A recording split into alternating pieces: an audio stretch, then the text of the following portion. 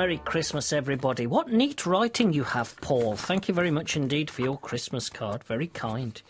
Paul, Jackie, Millie, Clark, and Daisy. There's some cats sprinkled in with that card greeting. Thank you. I shall put that up with, well, all the ones I got behind me on the shelf. There's almost no shelf space left too many cards.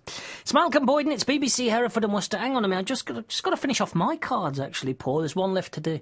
Dear Gaffer, please spare Posh and Stew. Yeah, I know, I know, I know, I know. I'm too generous. I know also that I've missed the last posting day for Christmas and I could have sent an email, but anyway, where's the festive cheer in that? Plus, he's only upstairs, the gaffer. He won't mind. I hope my plea comes off. New research from Royal Mail proves you can't beat the warm glow, the feeling of having a traditional Christmas card drop through the letterbox during the festive season. We're going to do that story now. We're going to tell you this as well. Over a billion have been sent in 2016. Now, Sharon Little is the chief executive of the Greetings Card Association. What a nice job to have. I've been speaking to Sharon and I asked her to give us the story. The story of the Christmas card. Well, uh, the Christmas card was invented in 1843 by Sir Henry Cole. Mm. Now, he was a very eminent Victorian. He had his finger in lots of different pies. He was the founder of the Victoria and Albert Museum, uh, the Penny Post with Sir Rowland Hill, um, all sorts of other things. The Great Exhibition with Prince Albert. And uh, in 1843, he forgot, well, he didn't forget, but he didn't leave quite enough time to send all of his Christmas letters. Oh. So he commissioned his friend, the artist Sir John Hall, Horsley to design a card, which uh, he had printed, and then a lot of them were hand coloured because they didn't have colour printing in those days. He printed off a thousand of them. He sent um, a load of them, and then he also sold the remainder in his shop in Bond Street. Now, they caused a little bit of a furore because uh, the central panel is him round the Christmas table, so it wasn't a religious card at all. Uh, they're sitting round the Christmas table, and one of the children is drinking wine. Ooh, I say. Ooh. Uh, so this the Temperance Society didn't like no, this one no, bit, and no. they started demonstrating outside the shop, and I think there was even a riot. So, so the first Christmas card was quite quite controversial. Yes, I was going to say it was a bit of a dodgy start, but look at us now. Are they still as popular? Would you say even in the digital age? We're going to send a billion Christmas cards this year. Goodness. We love cards in this country. In fact, we're the greeting card capital of the world. We send more cards per person than any other nation, and it's a great homegrown industry as well. We produce our own cards here, and we we lead the world. In fact, we export millions of cards cards. So the rest of the world is lagging behind on the Christmas card front. We're leading the way, are we? We're, we're leading the way not only with Christmas cards, but with cards for every other occasion. Oh. We, we are the ah. centre of greeting card design in this country. And of course, at Christmas time, it's not just about sending a card. You can help a charity by sending a Christmas card, can't Absolutely. you? Absolutely. £50 million a year are raised for charities through the sale of charity Christmas cards. And they're just a really lovely way of reaching out to people, especially people who you don't see very often.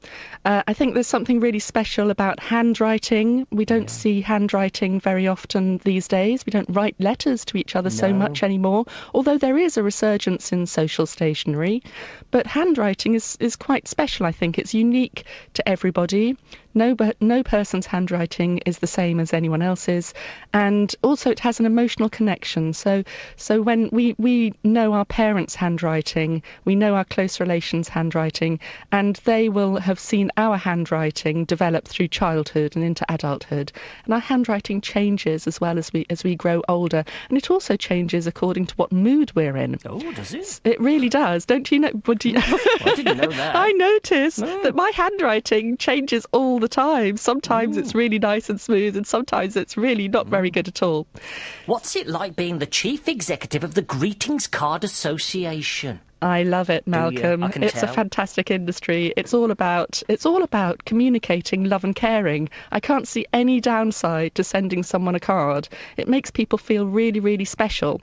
In fact, there's scientific research which has shown that uh, that a card, receiving a card, produces an amazing emotional response in the brain, uh, a far greater response than receiving texts or emails or other kinds of communication that's been tapped into a keyboard. Uh, it, it really, the, the brain lights up with happy, happy um, feelings, and those happy feelings stay because because a card is, is, is there. It's a physical thing. It's something that people love to display. So when when people have all of their Christmas cards around them, each of those cards it shows that somebody's spent the time to, to, to write that card and to send it, and and they're showing their caring in that way.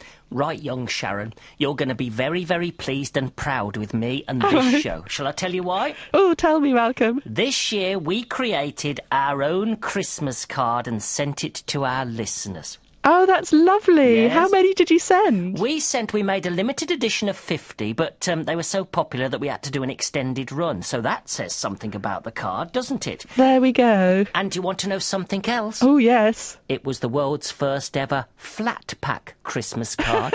so you had to make it yourself by cutting it out and gluing the white bit onto the white bit. There was a little fairy for the top because it was Christmas tree or pyramid shaped, and we even sent out a sheet of flat pack tools to help. That's fantastic. I love it. Do you love May it? I have one? Oh, yes! Do you think it'll catch on, the flat pack Christmas Oh, card? yes. That sounds great. Oh, good. So there we are. We're at the forefront of Christmas card giving in the radio world. How's that? Fantastic. I'm really proud of you, Malcolm. Thank you, Sharon.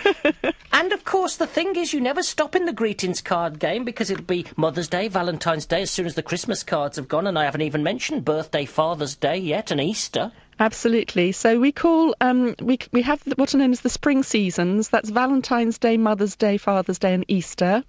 And I'd be very, very happy to come back and chat to you about those occasions because they're all really interesting. We're already working on our Mother's Day flat pack Christmas, uh, our Mother's Day flat pack card. Listen, Sharon, it's lovely to speak to you. Have a very Merry Christmas, and uh, well, I'm glad we're sending cards. Thank you very much, Malcolm. I'm, I'm, I think it's absolutely brilliant. So do I. She was nice, wasn't she? Sharon Little, Chief Executive of the Greetings Card Association.